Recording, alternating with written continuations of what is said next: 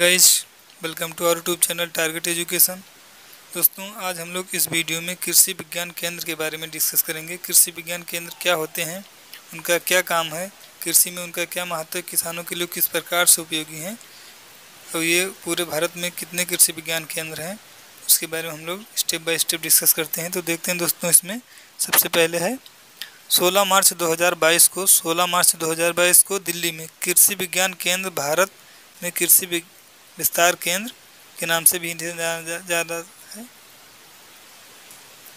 Next इसमें दोस्तों हम लोग देखते हैं। 16 मार्च 2022 को नई दिल्ली में कृषि विज्ञान केंद्र, भारत में कृषि विस्तार केंद्र है।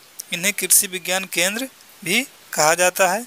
इनका उद्देश्य स्थानीय जलवायु परिस्थितियों के साथ कृषि अनुसंधान को व्यवहारिक रूप से लागू करना, किसानों को नई तकनीकियों का प्रदर्शन करना और अपनाने में मदद करना। इनका दोस्तों प्रमुख काम होता है कि जो स्थानीय जलवायु परिस्थितियाँ हैं, उनके साथ कृषि अनुसंधान को व्यवहारिक रूप से लागू करना और किसानों को नई नई तकनीकियों के बारे में बताना, जिससे वो लोग उसे अपना सकें और अच्छे से अच्छा लाभ प्राप्त कर सकें। नेक्स्ट देखते हैं दोस्तों इसमें। राज्य सरकारों के नियंत्रण में अड़तीस के बी के होते हैं। कितने? अड़तीस के बी के। आईसीआर संस्थान के तहत छियासठ कृषि विज्ञान केंद्र और गैर सरकारी संगठनों के तहत 103 कृषि विश्वविद्यालयों के तहत 506 और केंद्रीय विश्वविद्यालयों के तहत तीन सार्वजनिक क्षेत्र के उपक्रमों के तहत तीन, डीम्ड विद्यालयों के तहत सात और अन्य शैक्षणिक संस्थानों के तहत पाँच कृषि विज्ञान केंद्र। इसमें दोस्तों बताया गया कि राज्य सरकार के नियंत्रण में अड़तीस कृषि विज्ञान केंद्र आते हैं। आईसीआर संस्थानों के तहत छियासठ कृषि विज्ञान केंद्र आते हैं और गैर सरकारी संगठनों के तहत 103 कृषि विज्ञान केंद्र आते हैं। और नेक्स्ट इसमें कृषि विश्वविद्यालयों के तहत 506 केंद्रीय कृषि विज्ञान केंद्र आते हैं। केंद्रीय विश्वविद्यालय के तहत तीन कृषि विज्ञान केंद्र, सार्वजनिक क्षेत्र के उपक्रमों के तहत तीन कृषि विज्ञान केंद्र और डीम्ड विश्वविद्यालयों के तहत सात और अन्य शैक्षणिक संस्थानों के तहत पाँच कृषि विज्ञान केंद्र हैं। फिर इसमें नेक्स्ट दोस्तों हम लोग देखते हैं।